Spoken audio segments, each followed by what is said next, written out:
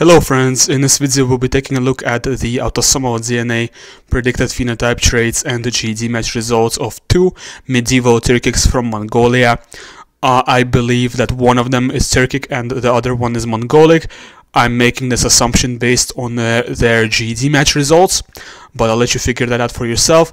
Uh, the individual who I believe is Mongolic is ULI002. I labeled him as Mong. The individual who I believe is Turkic is UGU001. I labeled him as Turk. I'm very transparent with my naming system. Uh, they both have paternal lineage J2A, which is actually a, a very West Asian paternal lineage. And let's begin the video we are gonna start with uh, the appearance of the Turk. So the Turk has got dark brown color eyes, Greek shaped nose, and black hair. Uh, his hair shape prediction based on two SNPs is that he has curly or wavy hair. His eye shape prediction based on nine SNPs is that he has South Asian or Amerindian or Estonian eye shape. That's why I depicted him looking kind of racially ambiguous here. Uh, not necessarily Eastern Eurasian, not necessarily Western Eurasian. That's kind of what it seems like that he looked like. He does not have blue eye haplotype 1 or any of the blue eye haplotypes that follow. However, he does have some genotypes in the OCA2 region that not only do they predict lighter coloring, not only do they lead to lighter color, they also predict having BH1 or BH2. So he has these genotypes that are commonly linked with BH1 and BH2, but he does not have BH1 or BH2 themselves. He just seems to have these uh, light color variants in OCA2 region. But all that, all this considered, it is still not enough to give him a lighter eye color than dark brown. He still has dark brown eyes despite all this. Uh, he has darker skin and other traits non-European genotypes in SLC24A5, SLC45A2, and. Uh, these are the big reasons. These, this is one of the really big reasons why his eye color prediction is that it's dark brown. It's partly because of these genotypes. And based on his genotypes in ASIP and IRF4, he seems to have lighter skin shade and other traits. He does not have European hunter-gatherer blue eye and pale skin and red hair variant in IRF4, and he's not genotyped for EDAR, so we don't know what he has for EDAR. Now we're moving on to the phenotype of our Mong. Uh, not much was present in the files, so we don't have a, a, lot to discuss here. He has brown color eyes instead of dark brown, which was the predicted phenotype for our Turk. Uh, he has snub-shaped nose and he has black hair. He does not have BH2 uh, or BH1 or BH4. Uh, or BH3 actually since he doesn't have BH1 we also know that he doesn't have any of the blue eye haplotypes that follow uh, he does have European light color variants in SLC45A2 and KITLG, which did contribute to him scoring brown eyes instead of dark brown. And he has two derived East Asian variants in EDAR, so this would affect him in terms of his uh, facial traits. It would influence him to have more East Asian facial traits. For hair shape prediction, his hair shape prediction is straight. And for the eye shape prediction, this was done with only 5 SNPs. Keep in mind, uh, 5 SNPs is not quite a lot when it comes to facial morphology. He is predicted to have Oceanian, followed by East Asian, followed by Amerindian, so very East Eurasian eye shapes. For the GED match portion of the video, I'm going to show you both individuals. We're going to start with Turk. This is what the Turk scores with Eurogenes K13. Very interesting that he's scoring 5.5% West Asian and 11.5% North Atlantic. Uh, this is very different from what you're going to see with the Mongol. Uh, the Mongol is not scoring any North Atlantic whatsoever there. So the Turk scoring North Atlantic, what that means is the Turk has some steppe uh, has some steppe or maybe Sarmatian ancestry, uh, which which they do they do have. Turkic people have absorbed Sarmatians as they moved into Central Asia. Uh, with the Oracle, he's getting modeled as a mixture of Tuvinian plus West Scottish, so a mixture of Turkic plus Scottish, or a mixture of Turkic plus some kind of um, something more Western, this is definitely a Turkic result, right?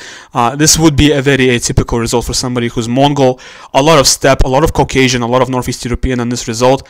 And with the Oracle here for MDLP K16, getting modeled as Altain plus Mansi, or actually Altain plus Hanti, maybe this this result is not so clear in terms of what his ancestry is, but trust me, if you look at all the other results, this is very clearly a Turkic individual. This is what he scores with MDLP World 22. Uh, as you can see, his scoring a lot of uh, Atlantic Mediterranean, also Indo-Iranian, also Northeast European, and with the Oracle he's getting modeled as a mixture of Tuvan plus, plus Tatar from Lithuania, line number 3. This is what he scores with PuntDNAL K, um, K10 and as you can see 12% CHG is a lot. It's as much CHG as some Southwest Europeans actually. Uh, a lot of CHG, a lot of uh, Western hunter-gatherer admixture too. So this individual has a lot of European admixture, which is very typical for Turkic people. And with the Oracle, you can see line number 3 through 20. It's basically a mixture of Altaians plus some kind of European groups such as Czechs, Norwegians, Icelandics, Belarusians, English. A mixture of Turkic plus Northern European is what it looks like based on this result. This is what he scores with Ancient Eurasia K6. Once again, this looks like a very Turkic result. Uh, there is even a little bit of ancestral North Eurasian here, and there is even a little bit of Natufian here. So there is Natufian comes from the CHG admixture, of course, from the uh, from the southern Mediterranean admixture that they have. And with the two-way oracle, he's getting more or less a mixture of Mongol plus 30% steppe, early Middle Bronze Age, clearly Mongol plus a lot of Yamna input is what it looks like based on the oracle. And with Gedrosia K3, this is what he scores. He's still overwhelmingly East Eurasian. There's still 72% East Eurasian, and early Turkic people were overwhelmingly East Eurasian. However, there is 27% West Eurasian present here, and that's important because this 20, this 27% West Eurasian is what separates the Turks, the Turkic people, from the Mongolics and the other uh, people who originate from East Asia. Now we'll be taking a look at uh, the results of the Mongol. As you can see, the Mongol is scoring no North Atlantic whatsoever, absolutely no North Atlantic admixture. Uh, he is, however, scoring more West Asian and even West Mediterranean. Uh, with the Eurogenes K13, uh, K13, the results are not so clear. This is not the calculator that really separates where you can really tell one individual is Turkic, the other is Mongolic. However, even with Eurogenes K13 with the Oracle, the closest to this individual is a mixture of Altaians plus various Southeast Asian groups, very different result from uh, the Turkic individual. This is what the uh, the Mongol scores with MDLP K16, and with the Oracle, once again you can see a very Mongolian result. It looks like a mixture of Mongol plus Basque. Uh, obviously, that's not the case, but it's a very Mongolian result. And with PuntDNAL K10, once again, a lot less CHG. If you remember, the Turk was scoring 13% CHG and 13% Western Hunter Gatherer. Uh, it's very different, very different case for the Mongol. The Mongol is a lot less European here. And with the Oracle, they actually get more or less Altaian plus Cambodian. If you remember, the Turk was getting more or less a mixture of Altaian plus Europeans. The Mongol is getting more or less Altaian plus Cambodian. This is where the difference is. Uh, there is a lot of affinities here to Southeast Asians and uh, East Asians in general. This is what they score with Ancient Eurasia K6. Uh, actually, you can see less ancestral North Eurasian here and more South Eurasian. Uh, I'm thinking this is because there isn't a lot of SNPs that go that go with this result for this calculator. With the Oracle, the closest model is Cambodian plus steppe in Neolithic, and this is what they score with Gedrosia K3. Obviously, they don't have any sub-Saharan African admixture. I, I think I would um, I would just look at the West Eurasian here. So they score 21.1 0.2% West Eurasian compared to the 27% West Eurasian that the Turkic individual scored, so a lot less West Eurasian and a lot more Eastern. Now we'll be looking at the Mongols results with my trait predictor. So uh, the Mongol has a genotype in OXTRs RS53 576, which leads to uh, sociopathy and reduced OXTR expression. Uh, the sociopath variants in this variation are most typical for East Asians. So if you're an East Asian watching this video, most likely you have the same genotype as him here. If you're a white person or a sub-Saharan African, most likely you have the opposite genotype. Most likely you don't have any sociopath variants. He has AC genotype in this variation, which leads to slight decrease in the risk of type 1 diabetes. Not really. I write here that it's slight decrease. It's actually a slight increase. So uh, relative to the average, it's a slight increase. Uh, but relative to the I think it's the AA genotype, it's a slight decrease. So relative to the average, slight increase in the risk of type 1 diabetes. And um, AA genotype in this variation, which means slightly decreased odds of Alzheimer's. And he does not have the G allele here that would, that would uh, prevent myopia, so no G allele in this variation. Higher odds of myopia, higher odds of nearsightedness no micro P, you know what that is. I'm not going to pronounce that because it's YouTube and I have to stay monetizer uh, really PG-13. We're going to look at polygenic risk scores for the Mongol and the Mongol has the Mongol has slightly below average odds of schizophrenia for Northern Europeans and pretty much dead average odds of schizophrenia for Sub-Saharan Africans, slightly below average odds of Alzheimer's, and I think nothing for diabetes was found in the file. It's a pretty small file. Okay, so we're going to reset all that. And now we're going to look at uh, the Turk. We're going to look at the Turk now. It's gonna ask us to enter a name in a little bit, in a couple of seconds. We're gonna look at the Turk. Okay, so the Turk has GG in COMT Valmet variation, meaning Val-Val or warrior genotype, higher activity of the COMT enzyme and quicker breakdown of dopamine. Right, so this guy has more dopamine. No, no, no. Uh, quicker breakdown means less dopamine, right? So this guy has less dopamine, advantages in stress resilience, and disadvantages in attention tasks. It's a, a very non-European genotype to have. Not to say that if you're a European and you have GG, it's some due to some kind of non-European admixture, but I'm just saying the the alternative allele or the derived allele or the A allele is most common in Europeans. So having GG means you don't have any alternative alleles, you don't have any derived alleles here, and Europe, it's most typical for non-Europeans like East Asians and Africans. Europeans tend to have uh, the Warrior genotype instead. This individual has GG here in Pro, Pro 319 Pro, no no-go learner variants, which means higher number of dopamine D2 receptor sites and higher odds of schizophrenia, as well as of course not being a no-go learner, which is the, the obvious here. Uh, in case in case you don't know what being a no-go learner is, uh, it basically has to do with how you respond to stimulus, uh, stimuli. Uh, so somebody who's a no-go learner tends to withhold uh, it means no go. You don't go, right? It it means withholding a response to stimuli, even when you probably should, even if there is a stimuli that you probably should respond to. People who are no go learners tend to not respond to it. However, the the opposite, which would be uh, this genotype right here, which means not a no go learner, people like that tend to respond to stimuli that aren't even there.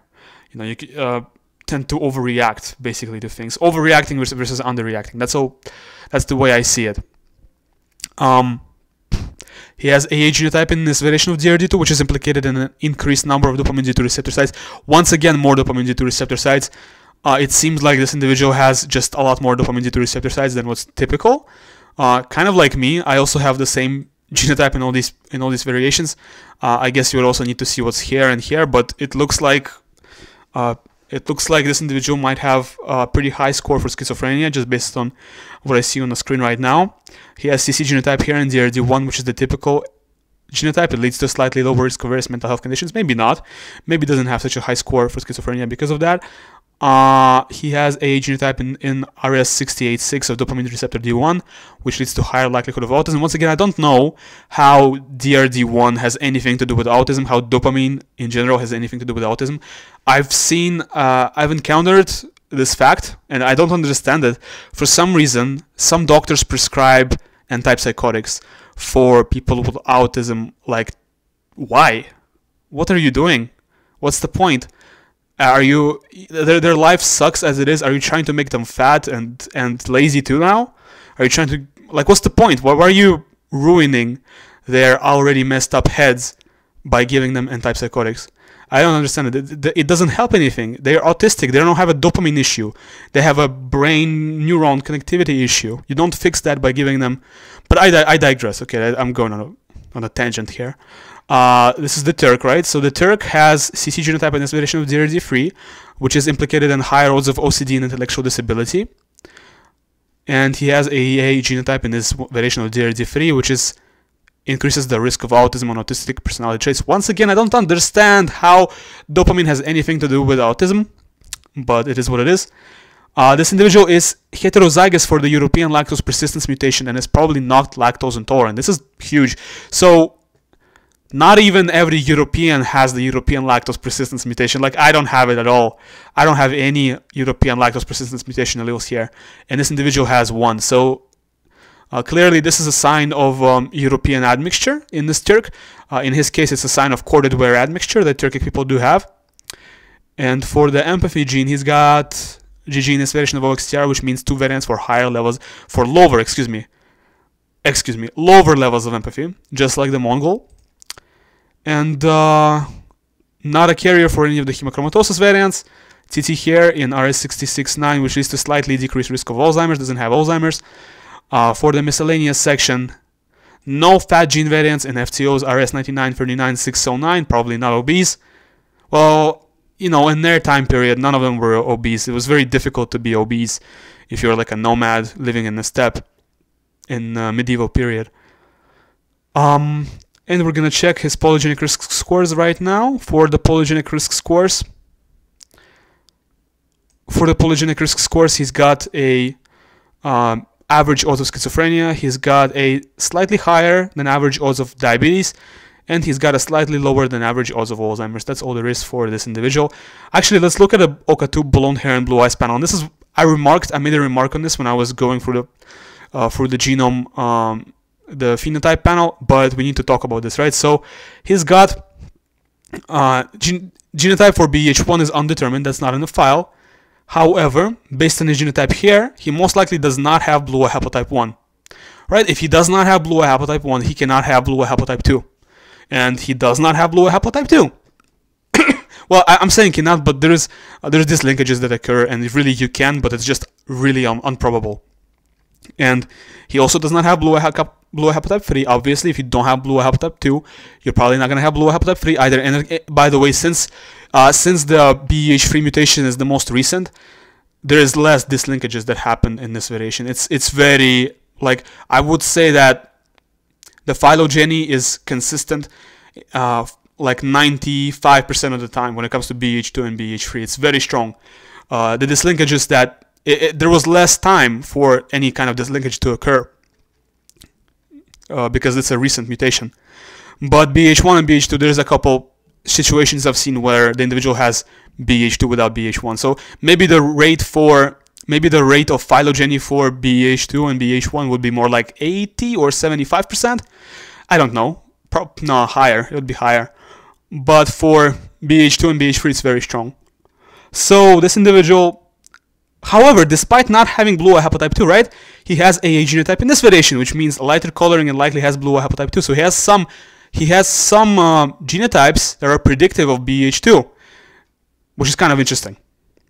I, I, don't know how that is, how that happened, but it's pretty interesting that uh, that's the case. Maybe, um, maybe I was a little bit too rash in my decision to um, to claim that this variation is predictive of BH2. I just noticed a pattern, right? I, I do videos, I do I analyze data, and I notice patterns. And I notice a pattern that hey, this variation seems to be linked with BH2, and that's why I wrote here that it's predictive of BH2. But in this case, as you can see, there is some discongruency here.